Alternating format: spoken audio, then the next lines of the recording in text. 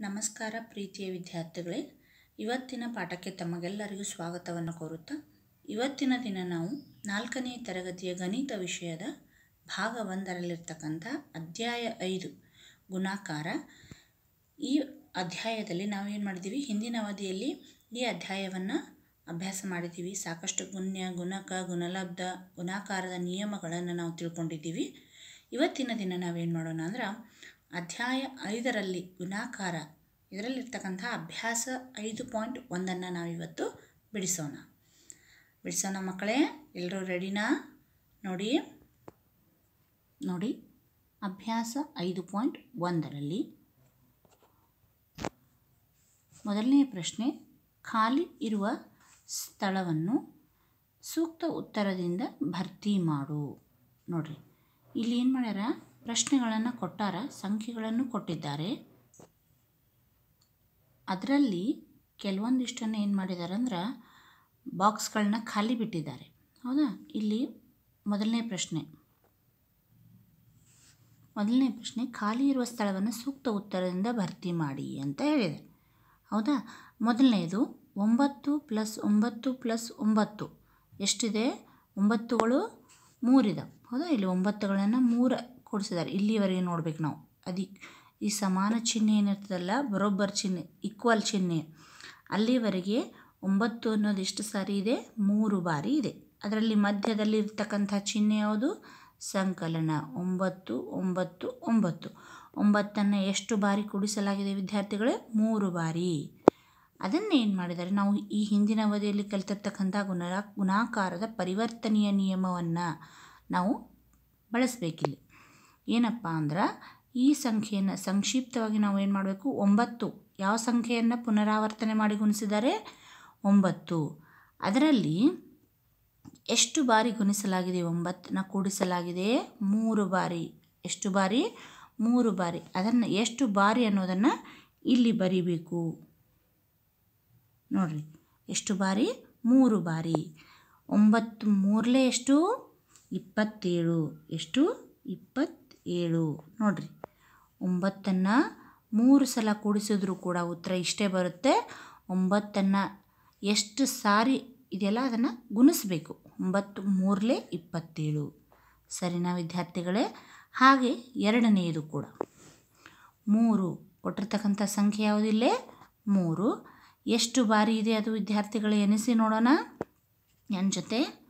ಒಂದು, ಎರಡು, ಮೂರು. ನಾಲ್ಕು, ಐದು, ಆರು, ಏಳು, ಎಂಟು. ಹೌದಾ? ಮೂರು ಅನ್ನುವಂಥ ಒಂದು ಸಂಖ್ಯೆ ಎಷ್ಟು ಬಾರಿ ಇದೆ ವಿದ್ಯಾರ್ಥಿಗಳೇ? ಎಂಟು ಬಾರಿ ಕೊಟ್ಟಿದ್ದಾರೆ. ಇಲ್ಲಿ ನೋಡಿರಿ, ಇದೇ ಫಸ್ಟ್ನೇ ಲೆಕ್ಕ ಏನು ಮಾಡಿದರು? ಫಸ್ಟ್ ಸಂಖ್ಯೆಯನ್ನು, ಗುಣ್ಯವನ್ನು ಕೊಟ್ಟು ಗುಣಕವನ್ನು ಕಂಡುಹಿಡಿಯಿರಿ ಅಂದಿದ್ರು. ಆದರೆ ಇಲ್ಲಿ ಏನು ಮಾಡಿದಾರಪ್ಪ ಅಂದ್ರೆ, ಗುಣ್ಯವನ್ನು ನಾವೇ ಗುರುತಿಸಬೇಕು, ಗುಣಕವನ್ನು ಕೊಟ್ಟಿದ್ದಾರೆ, ಗುಣಲಬ್ಧವನ್ನು ಕಂಡುಹಿಡಿಬೇಕು. ಹೌದಾ?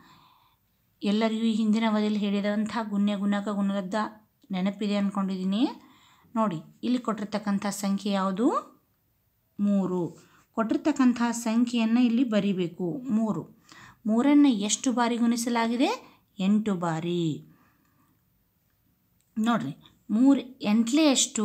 ಗುಣಾಕಾರ ಮಾಡಿ ಹೇಳಿ ನೋಡೋಣ. ನೋಡಿ ವಿದ್ಯಾರ್ಥಿಗಳೇ, ಮೂರು ಎಂಟ್ಲೇ ಎಷ್ಟು? ಇಪ್ಪತ್ತ್ನಾಲ್ಕು ಹೌದಾ? ಮೂರು ಇಪ್ಪತ್ನಾಲ್ಕು. ನೋಡಿರಿ ಮೂರನ್ನು ನೀವು ಎಂಟು ಸಾರಿ ಕೂಡಿಸಿದ್ರು ಕೂಡ ಇಪ್ಪತ್ತ್ನಾಲ್ಕೇ ಬರುತ್ತೆ.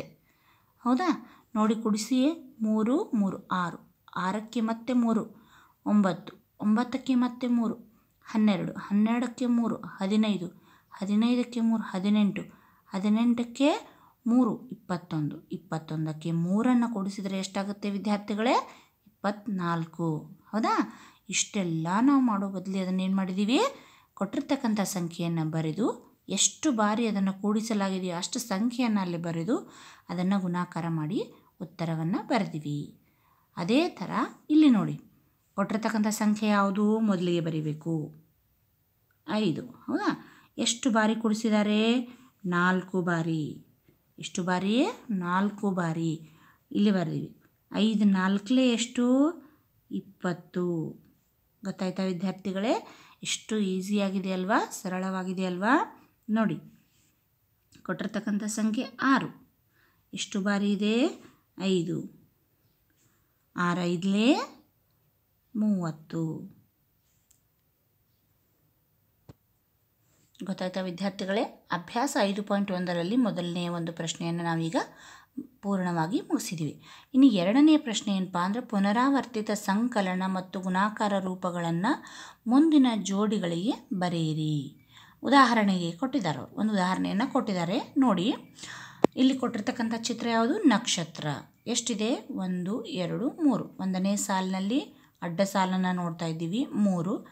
ಈ ಕಡೆ ನೋಡಿದರೆ ಕೆಳಗಡೆನೂ ಕೂಡ ಮೂರಿದೆ. ಹೌದಾ? ಹೀಗೆ ನೋಡಿದ್ರೆ ಮೂರು. ಮೂರು ಸಾಲುಗಳಿವೆ, ಕಂಬ ಸಾಲುಗಳು, ಅಡ್ಡ ಸಾಲು ನೋಡಿದ್ರೆ ಎರಡು ಸಾಲಿವೆ ನೋಡಿರಿ, ಕೊಟ್ಟಿರ್ತಕ್ಕಂಥ ನಕ್ಷತ್ರಗಳು ಮೂರು.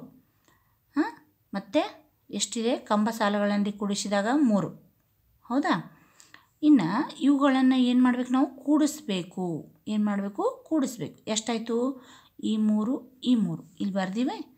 ಎಷ್ಟಾಯಿತು ಕೂಡಿಸಿದಾಗ? ಆರು. ಇದನ್ನೇ ನಾವು ಗುಣಾಕಾರ ಮಾಡಿದರೆ ಕೊಟ್ಟಿರ್ತಕ್ಕಂಥ ಸಾಲು ಎಷ್ಟು? ಎರಡು. ಅಡ್ಡ ಸಾಲು ನೋಡಿದಾಗ ಎರಡು. ಪ್ರತಿ ಸಾಲಿನಲ್ಲಿ ಎಷ್ಟು ನಕ್ಷತ್ರಗಳಿವೆ? ಮೂರು. ಎರಡು ಸಾಲು, ಮೂರು ನಕ್ಷತ್ರ ಅಂದರೆ ಎರಡು ಗುಂಡ್ಲೆ ಮೂರನ್ನು ಮಾಡಿದಾಗ ಆರು. ಅರ್ಥ ಆಯ್ತಾ? ಇದೇ ರೀತಿಯಾಗಿ ಇನ್ನು ಮೊದಲನೆಯ ಪ್ರಶ್ನೆಯನ್ನು ಬಿಡಿಸೋಣ.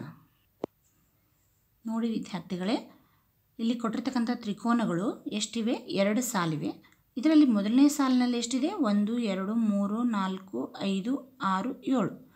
ಏಳಿದೆ. ಎಷ್ಟು? ಏಳು. ಎಷ್ಟು? ಏಳು. ಎರಡನೇ ಸಾಲಿನಲ್ಲೂ ಕೂಡ ಏಳದವು. ಒಂದು, ಎರಡು, ಮೂರು, ನಾಲ್ಕು, ಐದು, ಆರು, ಏಳು. ಹೌದಾ? ಏಳು. ಏಳು ಪ್ಲಸ್ ಏಳು. ಹೌದಾ? ಎರಡೂ ಸಾಲಿನಲ್ಲಿ ಏಳು ಇರೋದ್ರಿಂದ ಏಳಕ್ಕೆ ಏಳು ಕೊಡಿಸಿದ್ರೆ ಹದಿನಾಲ್ಕು. ಈಗ ಅಡ್ಡ ಸಾಲಿನಲ್ಲಿ ಅದನ್ನು ತಗೊಂಡ್ರೆ ಎಷ್ಟಾಗುತ್ತೆ? ಎಷ್ಟು ಸಾಲುಗಳಿವೆ ಅಡ್ಡ ಸಾಲು? ಎರಡು. ಗುಣಾಕಾರ ಪ್ರತಿ ಸಾಲಿನಲ್ಲೂ ಎಷ್ಟು ತ್ರಿಕೋನಗಳಿವೆ? ಏಳು. ಎರಡು ಏಳೇ ಎಷ್ಟು ಹದಿನಾಲ್ಕು. ಗೊತ್ತಾಯ್ತಾ ವಿದ್ಯಾರ್ಥಿಗಳೇ? ಅದೇ ರೀತಿ ಮುಂದಿನ ಲೆಕ್ಕಗಳನ್ನ ನೋಡೋಣ. ನೋಡಿ ವಿದ್ಯಾರ್ಥಿಗಳೇ, ಮುಂದಿನ ಪ್ರಶ್ನೆ. ಇಲ್ಲಿ ಕೊಟ್ಟಿರ್ತಕ್ಕಂಥ ಮೇನದ ಬತ್ತಿ ಎಷ್ಟಿದೆ? ಮೂರು ಸಾಲುಗಳಿವೆ. ಪ್ರತಿ ಸಾಲಿನಲ್ಲೂ ಐದೈದು ಇರೋದಿರೋದ್ರಿಂದ ಪ್ರತಿ ಸಾಲಿನಲ್ಲಿ ಐದನ್ನು ಐದನ್ನು ನಾವೇನು ಮಾಡಿದ್ದೀವಿ ಇಲ್ಲಿ? ಕೂಡಿಸಿದ್ದೀವಿ ಹದಿನೈದಾಯಿತು ಮೂರು ಸಾಲು ಇರೋದ್ರಿಂದ ಮೂರಕ್ಕೆ ಪ್ರತಿ ಸಾಲಿನಲ್ಲಿ ಇರ್ತಕ್ಕಂಥ ಸಂಖ್ಯೆಯನ್ನು ಗುಣಿಸಿದಾಗ ಬಂದಿರತಕ್ಕಂಥ ಉತ್ತರನೂ ಕೂಡ ಸೇಮ್ ಇಲ್ಲಿ ಕೊನೆಯದಾಗಿ ಮ್ಯಾಂಗೋ. ಮಾವಿನ ಹಣ್ಣು ಎಷ್ಟಿದೆ? ಪ್ರತಿ ಸಾಲಿನಲ್ಲೂ ನಾಲ್ಕು ನಾಲ್ಕು ಇದಾವೆ ಸಾಲುಗಳು ಎಷ್ಟಿವೆ ನಾಲ್ಕಿದೆ ಹೌದಾ? ಅದಕ್ಕೋಸ್ಕರ ಇವುಗಳನ್ನ ಏನು ಮಾಡಿದ್ದೀವಿ ನಾವು? ನಾಲ್ಕನ್ನು ಕೂಡಿಸಿದ್ದೀವಿ ಪ್ರ, ಪೇಲ. ಆಮೇಲೆ ಏನು ಮಾಡಿದ್ವಿ? ಹದಿನಾರು ಬಂತು. ಮತ್ತು ಆಮೇಲೆ ಏನು ಮಾಡಿದ್ವಿ? ನಾಲ್ಕನ್ನು ನಾಲ್ಕು ಸಾಲು ಇರೋದರಿಂದ ಅದನ್ನು ಗುಣಾಕಾರ ಮಾಡಿದರೆ ಉತ್ತರ ಹದಿನಾರು ಹದಿನಾರು ಬಂತು. ಇದೇ ರೀತಿಯಾಗಿ ಅಡ್ಡ ಸಾಲು ಮತ್ತು ಕಂಬ ಸಾಲುಗಳಲ್ಲಿ ನಾವೇನು ಮಾಡಿದ್ದೀವಿ ಗುಣಾಕಾರವನ್ನು ಮಾಡಿದ್ದೀವಿ ಇವತ್ತಿನ ಪಾಠ ಎಲ್ಲ ಎಲ್ಲರಿಗೂ ಅರ್ಥ ಆಗಿದೆ ಅಂದ್ಕೊಂಡಿದ್ದೀನಿ ಎಲ್ಲರಿಗೂ ತುಂಬ ಧನ್ಯವಾದಗಳು.